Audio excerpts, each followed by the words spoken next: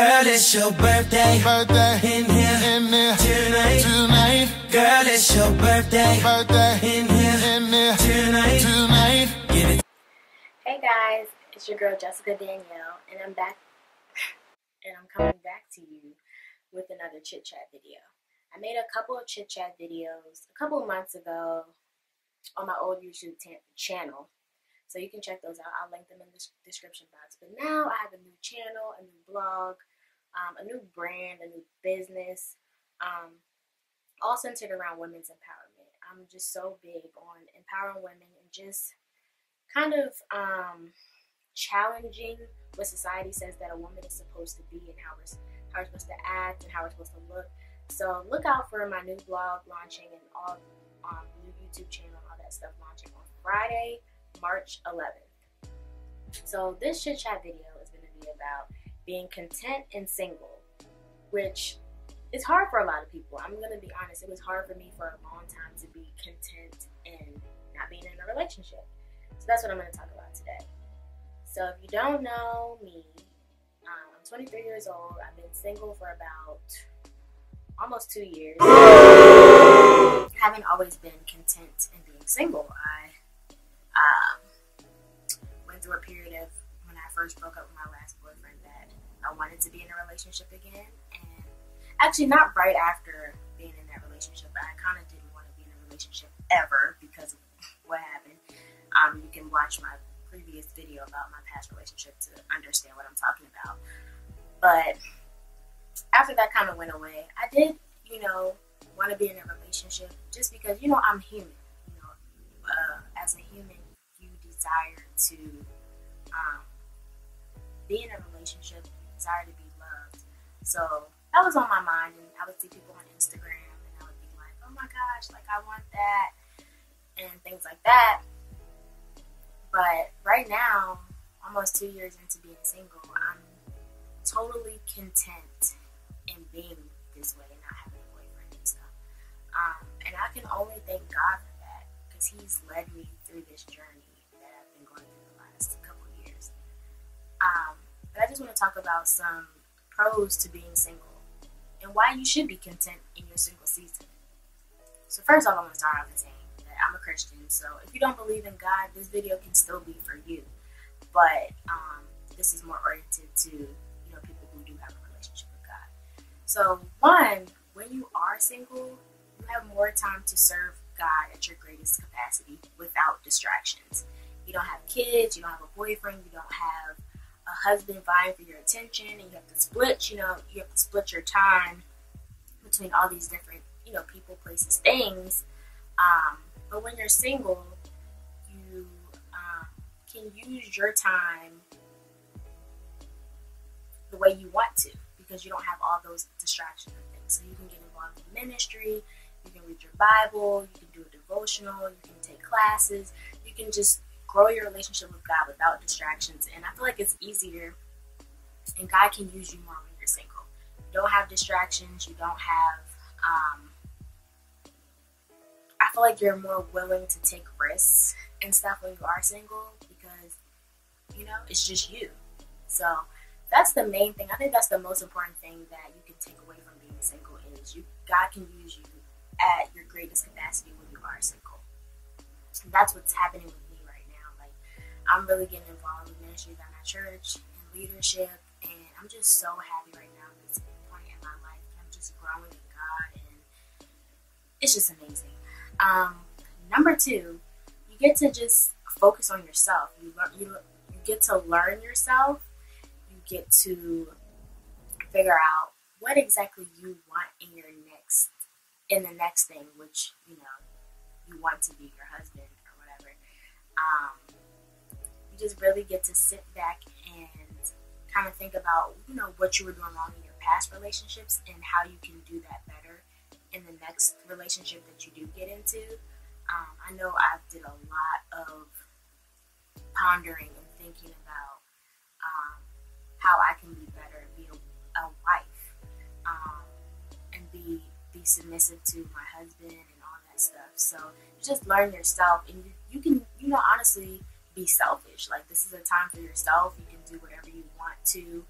Um, it's great learning about yourself. Like I learn something new about myself every day, and I feel like um, in order to love yourself, you have to know yourself.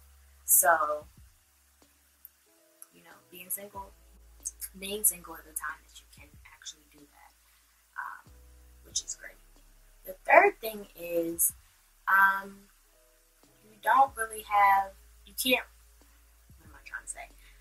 Um, you don't have the opportunity to fall into sexual temptation um, if you're waiting for marriage or you're, you know, celibate and waiting for your husband. Um, you don't really have those uh, sexual temptations and desires because you're not with somebody, you're not in a relationship. Now, you might see a guy on Instagram, you might be like, who is he? But he's not right there right now, and you won't really have that, you know, back and forth thing of, you know, should I do this? Should I not do this? I know this is wrong, but my body's saying do this, do this. So you don't have that going on um, when you're single.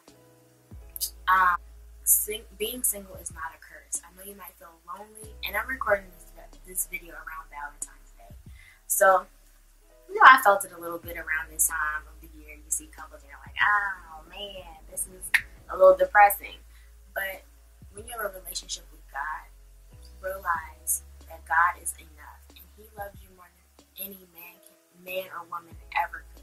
So that's what I always think about. God is enough. His love is enough, and um, that's that's kind of where I stand at. Um, I feel like we as women, we really want to be loved, and we sometimes um, settle for less because we want to be loved. But you don't have to settle for less because you know what? If you're in a relationship with God and you've prayed about, prayed and talked to God about what you want, and He knows the desires of your heart, He's gonna send that to you. He's not gonna set you up with somebody that you just totally don't want to be with. It's gonna be somebody that's perfect, a perfect match for you. Um, it might not be everything that's on your checklist, but it's gonna be somebody that is made for you and that He has ordained for you. Um, and I think I'm gonna make a video about celibacy and all that stuff like that, because I know there's a lot of you know young women and men that are going through this journey. Um, I would suggest uh, reading this book. So I'm taking a class at my church. It's called Sex, Dating, Relationships, and it's for singles. And this is the book.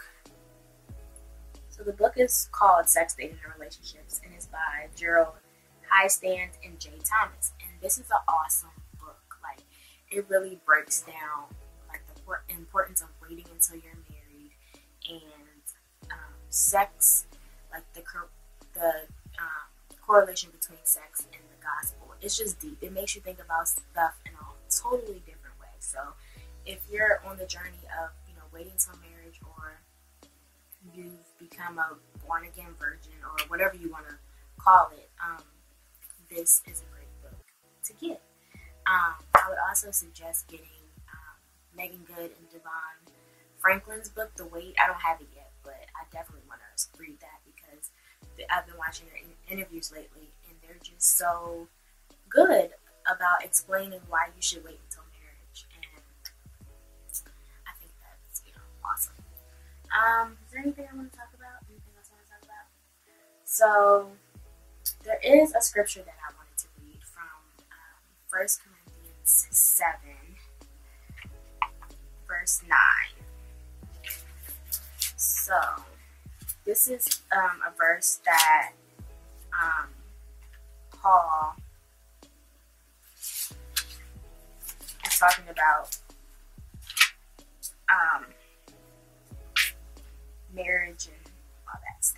So, so this is First Corinthians seven, verse nine. It says, "But if they cannot exercise self-control, they should marry." For it is better to marry than to burn with passion. So this means to me that if you have a desire to be married, you have a desire to, you know, have sex with your husband, your spouse, then you should marry instead of burning with that passion of, you know, your desires. So I definitely agree with Paul. Now, Paul, he was single his whole life and celibate his whole life. But I feel like most people have a desire to be married and have kids and start a family and all that. So um, I would definitely suggest reading um, First Corinthians. It's definitely a good um, chapter about sex and marriage and all that good stuff. Um, so I think my next video is going to be about the importance of tithing because I feel like in the church we don't talk about it enough and people don't really understand the importance of it and the direct correlation that has with your faith and the blessings and abundance you'll see in your life if you do tithe. So I'm going to do a video on tithing and comment below on other videos that you want to see me do. Um, I'll be more than happy to do that. I'll see you guys in my next video. Thank you and subscribe to my new channel Redefine Woman. And uh, again, the website launches on Friday, March 11th.